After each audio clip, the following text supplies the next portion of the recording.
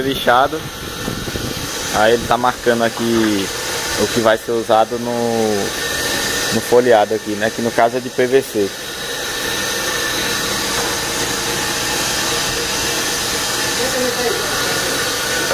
Tá tudo lixadinha.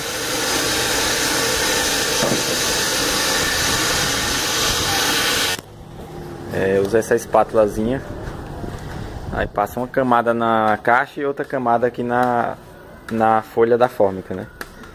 Aí espera secar, depois vem com mais outra camada nos, nas duas novamente. E por último já pode colocar, né?